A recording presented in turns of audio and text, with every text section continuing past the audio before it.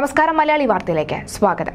ദുബായിൽ നിന്ന് കരിപ്പൂർ വിമാനത്താവളം വഴി ഒന്നര കിലോയിലേറെ സ്വർണം കടത്തിയത് ഭർത്താവിന്റെ നിർബന്ധ പ്രകാരമെന്ന യുവതിയുടെ മൊഴി.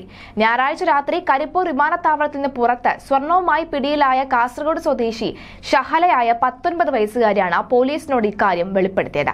ഞായറാഴ്ച രാത്രി ദുബായിൽ നിന്നും എയർ ഇന്ത്യ എക്സ്പ്രസ് വിമാനത്തിലാണ് ഷഹ്ല കരിപ്പൂരിലെത്തിയത്.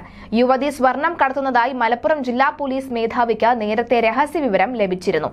ഇതനുസരിച്ച് കസ്റ്റംസ് പരിശോധന കഴിഞ്ഞ രാത്രി പതിനൊന്ന് മണിയോടെ വിമാനത്താവളത്തിന് പുറത്തിറങ്ങിയ യുവതിയെ പോലീസ് കസ്റ്റഡിയിലെടുക്കുകയായിരുന്നു. മണിക്കൂറോളം ചോദ്യം ചെയ്തിട്ടും തന്റെ കയ്യിൽ സ്വർണമില്ലെന്നായിരുന്നു ഷഹല ആദ്യം പറഞ്ഞിരുന്നത്. ഓരോ ചോദ്യങ്ങൾക്കും ആത്മധൈര്യം കൈവിടാതെയാണ് യുവതി മറുപടി നൽകിയതെന്നും പോലീസ് പറയുന്നു. താൻ സ്വർണക്കടത്തിന്റെ കാരിയർ ആണെന്നോ തന്റെ കയ്യിൽ സ്വർണമുണ്ടെന്നോ ഒരു ഘട്ടത്തിൽ പോലും ഇവർ സമ്മതിച്ചിരുന്നില്ല. ഇതോടെയാണ് പോലീസ് വിശദമായ പരിശോധന നടത്തിയത്.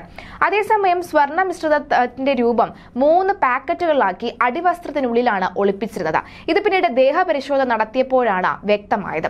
ഇരുപത്തിയഞ്ചിന് രാത്രി പത്ത് ഇരുപതിന് ദുബായിൽ നിന്നെത്തിയ എയർ ഇന്ത്യൻ എക്സ്പ്രസ് വിമാനത്തിലാണ് യുവതി കാലിക്കറ്റ് എയർപോർട്ടിലേക്ക് ഇറങ്ങിയത്.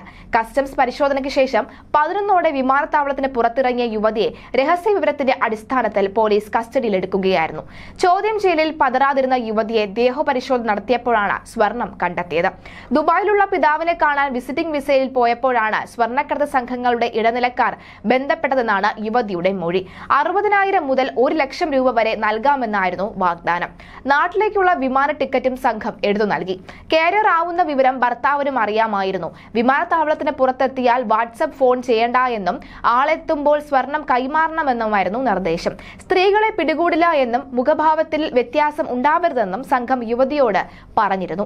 സ്വർണക്കടത്തിന് പിന്നിൽ പ്രവർത്തിച്ചവരെ കണ്ടെത്താനുള്ള ശ്രമം തുടരുന്നതായി പോലീസ് പറഞ്ഞിട്ടുണ്ട്. പിടിച്ചെടുത്ത സ്വർണം കോടതിയിൽ സമർപ്പിക്കും. തുടരന്വേഷണത്തിനായി വിശദമായ റിപ്പോർട്ട് കസ്റ്റംസ് തേടിയിട്ടുമുണ്ട്. കഴിഞ്ഞ ദിവസം ഇതിന് സ്പെഷ്യൽ അന്വേഷണമൊക്കെ ആരംഭിച്ചു തുടങ്ങിയിട്ടുണ്ട്. ഏതായാലും പത്തൊൻപതുകാരി വിവാഹിതയാണ്. ഈ വിവാഹിതയായ ഭർത്താവിനും ഇക്കാര്യം അറിയാമായിരുന്നു എന്നതടക്കമുള്ള കാര്യങ്ങളാണ് ഇപ്പോൾ പുറത്തു വന്നുകൊണ്ടിരിക്കുന്നത്.